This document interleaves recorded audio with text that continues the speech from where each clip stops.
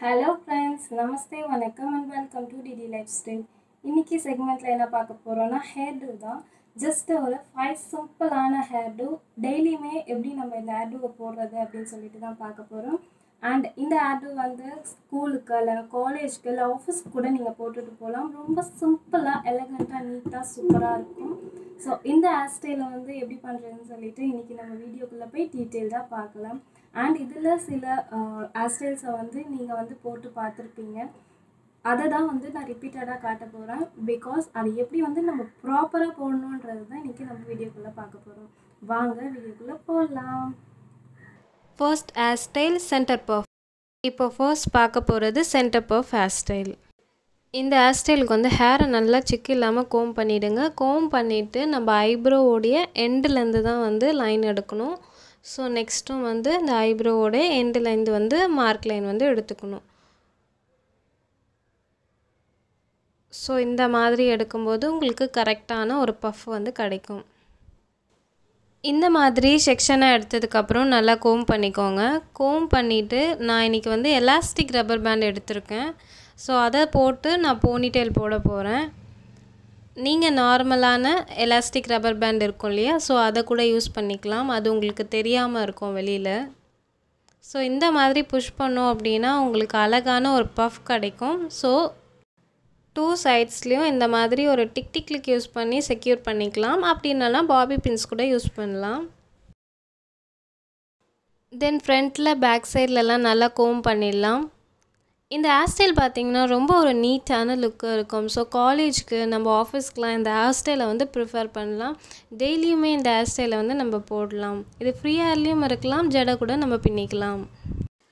Second hair style single plait இந்த hair ஸ்டைலுக்கு வந்து நம்ம சென்டர் கோட் எடுத்துக்கணும். ஸோ டூ டிவிஷன் ஆக்கிக்கணும் ஹேரை நெக்ஸ்ட் வந்து நம்ம ஃபர்ஸ்ட் ஹேர் ஸ்டைலில் ஐப்ரோவோட எண்ட்லேருந்து தான் வந்து பஃபுக்காக ஒரு மார்க் லைன் எடுத்திருப்போம்.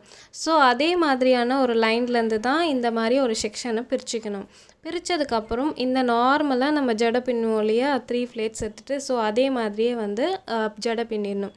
பின்னினதுக்கப்புறமே ஒரு லைன் மட்டும் இந்த மாதிரி லூஸ் பண்ணிவிட்டு ஒரு பாபி பின்னோ இல்லைனா வந்து இந்த மாதிரி டிக் டிக் கிளிப்போ யூஸ் பண்ணி செக்யூர் பண்ணிவிடுங்க சேம் அதே ஹேர் ஸ்டைலை நெக்ஸ்ட் சைடும் ஃபாலோ பண்ணுங்கள் ஃபாலோ பண்ணிவிட்டு உங்ககிட்ட வந்து இந்த மாதிரி பீட்ஸ் இருந்துச்சுன்னா பீட்ஸ் யூஸ் பண்ணுங்கள் third hairstyle side ponytail so இந்த ஹேர் ஸ்டைல் வந்து சைட் செக்ஷன் இருக்கணும். இதுவும் சேம் பார்த்தீங்கன்னா மார்க்கிங் லைன் வந்து ஐப்ரோவோடைய எண்ட்லேருந்து தான் வந்து சைடு கோடு எடுக்கணும்.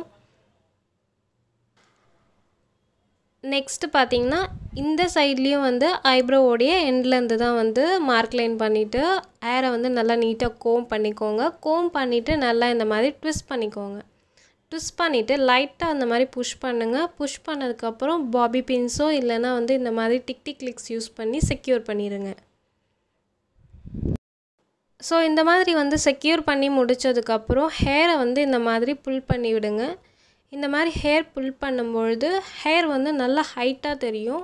ஸோ இந்த பஃப் வந்து நல்லா நீட்டாக ஹைட்டாக இருக்கும். அண்ட் இந்த மாதிரி காது கிட்டேருந்து கொஞ்சமாக ஹேர் எடுத்து விடுங்க. இது வந்து நயன்தாரா ஹேர் ஸ்டைல்னு சொல்லுவாங்க. ஸோ இந்த மாதிரி சைட்லேருந்து டோட்டலாக ஹேர் எல்லாமே எடுத்து இந்த மாதிரி ஒரு பேண்ட் போட்டு செக்யூர் பண்ணிடுங்க இந்த போனிடெயில் வந்து ரொம்ப நீட்டாக இருக்கும். அதே மாதிரி சிம்பிளாகவும் இருக்கும் பியூட்டிஃபுல்லாகவும் இருக்கும் ஸ்டைலிஷாகவும் இருக்கும். Fourth hairstyle twisted ponytail so இந்த ஹேர் ஸ்டைல் வந்து நம்ம நார்மலாக எப்படி வந்து பஃப் க்ரியேட் பண்ணுவோமோ அந்த மாதிரி பஃப் பண்ணிடுங்க பஃப் பண்ணதுக்கப்புறம் போனிடெயில் போட போகிறோம் back side elastic rubber band போட்டு நல்லா செக்யூர் பண்ணிடுங்க கொஞ்சம் லூஸாகவே செக்யூர் பண்ணுங்கள் இந்த மாதிரி கொஞ்சம் பேக்கில் புல் பண்ணிக்கோங்க. இன் பிட்வீன் வந்து ஒரு டூ செக்ஷன்ஸ் எடுத்துக்கலாம். இந்த ஹேர் கம்ப்ளீட்டாக வந்து இந்த மாதிரி உள்ளேருந்து டவுன் வரைக்கும் எடுக்கணும். ரொம்ப ட்ரெண்டியான ஒரு ஹேர் ஸ்டைல் நம்ம ஜீன் டாப்லாம் போடுறோம் அப்படின்னா இந்த மாதிரியான ஒரு ஸ்டைலிஷான ஹேர் ஸ்டைல் போடலாம். அண்ட் இந்த சென்டரில் வந்து இந்த மாதிரி டிக் டிக் கிளிப் யூஸ் பண்ணி ஒரு ரோஸ் வந்து வச்சுருக்கேன். நார்மலாக ரோஸ் இருந்துச்சுன்னா அதை கூட நீங்கள் வச்சுக்கலாம். Fifth hairstyle one sided twisted next hairstyle வந்து ஐப்ரோவோடைய எண்ட்லேருந்து ஒரு மார்க் லைன் அண்ட் ஐப்ரோவோடைய பிகினிங்லேருந்து ஒரு மார்க் லைன் எடுத்து ஒரு செக்ஷன் வந்து எடுத்துக்கோங்க. செக்ஷனை வந்து நல்லா கோம் பண்ணிடுங்க இந்த மாதிரி லைட்டாக ட்விஸ்ட் பண்ணிக்கலாம். ட்விஸ்ட் பண்ணிவிட்டு அப்படியே ஸ்ட்ரைட்டாக கொண்டு வந்து ஒரு பாபி பின்னோ இல்லைன்னா ட்விக்டிக் யூஸ் பண்ணி செக்யூர் பண்ணிடுங்க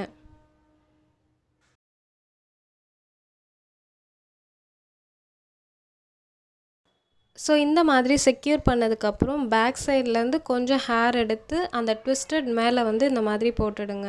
ஸோ இந்த ஹேர் ஸ்டைல் வந்து ரொம்பவே நீட்டான லுக் இருக்கும். ஸோ இன்னைக்கு நான் காட்டியிருந்த ஹேர் ஸ்டைல் எல்லாமே வந்து உங்களுக்கு யூஸ்ஃபுல்லாக இருக்கும் சொல்லிட்டு நம்புகிறேன் உங்களுக்கு நம்மளுடைய சேனல் பிடிச்சிருந்தது அப்படின்னா லைக் பண்ணுங்கள் ஷேர் பண்ணுங்கள் கமெண்ட் பண்ணுங்கள் மறக்காமல் வந்து சப்ஸ்கிரைப் பண்ணிக்கோங்க. ஸோ உங்களிடமிருந்து விடைபெறுவது உங்களுடைய லைஃப் ஸ்டைல் துர்காதேவி. நன்றி. மீண்டும் பார்க்கலாம்.